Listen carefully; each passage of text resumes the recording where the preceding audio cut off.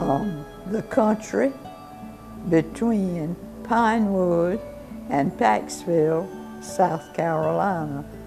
And most people, when I say that, they'll say, well, Paxville and Pinewood are country.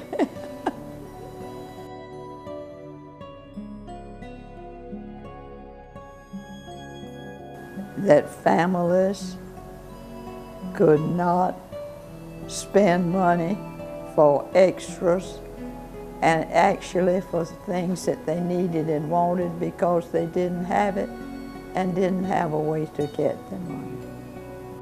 But we had to buy the rice, so it was easy to need rice. We couldn't get it all the time as much as we needed. My daddy grew a garden. He also grew some types of vegetables in the cornfield. We had a cow, so we had our own milk and butter. And when she had calves, we also had meat. We had chickens, so we had our own eggs, and we had our own meat.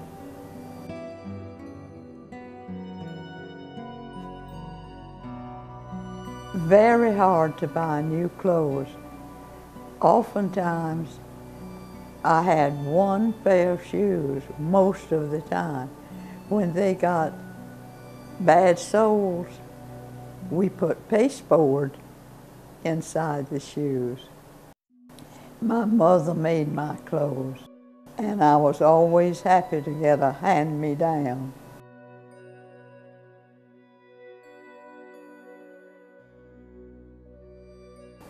I had two little brothers, but one was born dead. The other one lived a week. And I have one sister who's four years younger than I am. And of course we grew up together. And we fussed. We, were all, we could always make up.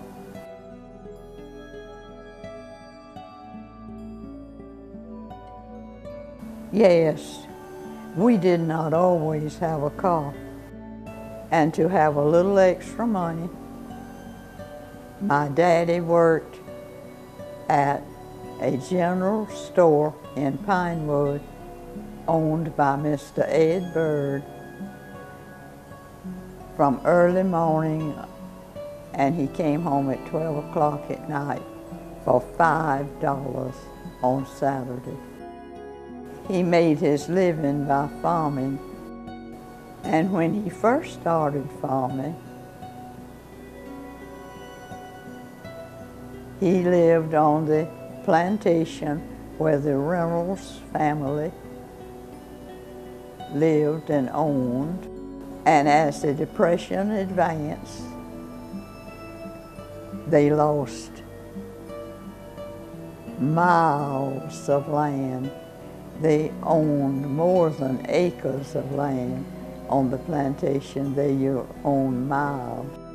They had to borrow money to farm with.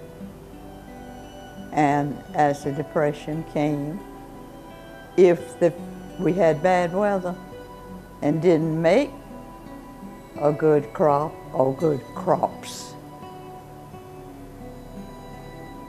we had to pay the money back that we borrowed to raise them for seed. And we had labor We farmed with mules. The only way I worked on the farm was to make a few pennies picking cotton. And we had sacks that they fixed straps on and we put them around our shoulders and neck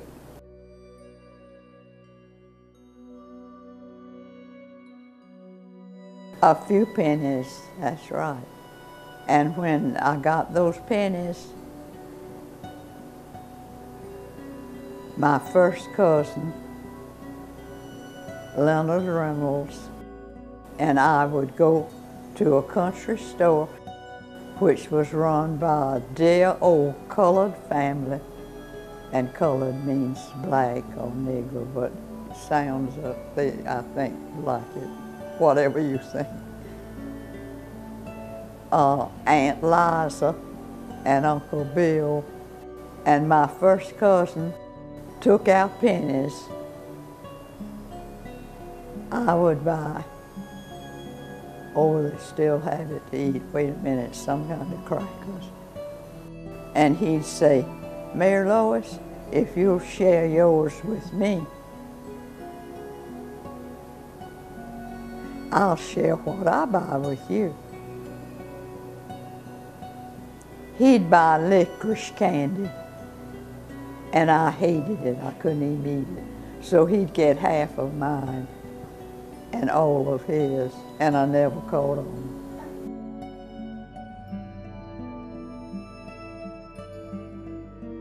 Yes, but my daddy had labor on the farm, and that's how he got help, work, work help. I don't remember what he gave them the salary. They lived in a home on the farm, and it was a very meager home, unpainted, wooden home with no modern conveniences. And neither did we have modern conveniences. We had an outdoor toilet, which we called a privy, inside the house, we had buckets that we sat on and urinated. We had no electric lights. Well, no electricity rather than electric lights. There's nothing that was run by electricity. We had a wooden cooking stove two fireplaces which burned wood.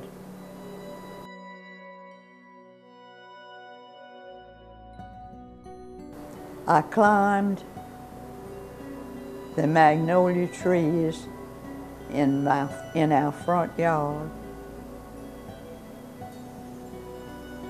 I sealed worn out shingles, wooden shingles, be sure to put wooden. Underneath the bridge in the branch that ran behind our house for boats. And I did get a bicycle. I can't remember the year, but I was a grown girl and I left it on their front porch at night, which was not screened. And one night it was stolen. We did discover who stole it, and he was punished, and it was returned. That's the only bicycle I ever had.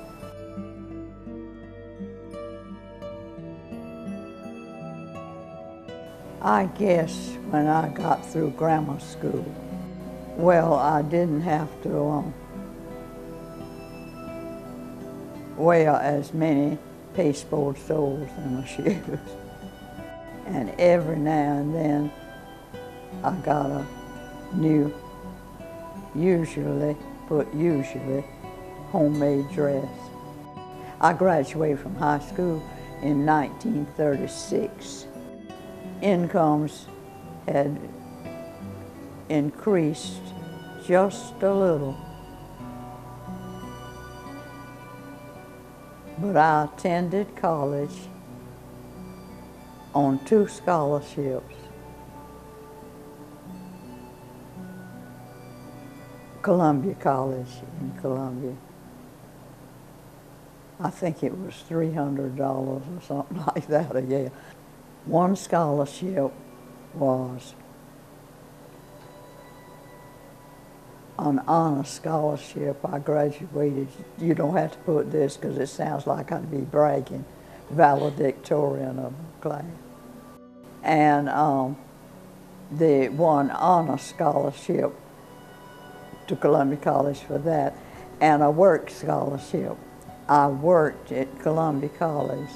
I waited on tables my freshman year, and I'm not ashamed of it. And the rest of the years, I worked in the business office for the secretary.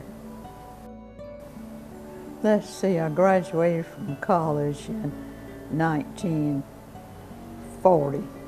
And of course, as I began to make a meager salary, I saw that the financial situation had improved. I don't remember what I made the first year I taught, but it was a little bit, but enough to live on. Did I find that living during the Depression affected the way I go about life? It certainly made me appreciate not having to worry as much about living expenses. And it made me appreciate better financial living conditions. And I actually became stingy when I began to make a little more money. Well, not more money than I'd already made because I hadn't made any, but what I mean when I was a little more uh, well off.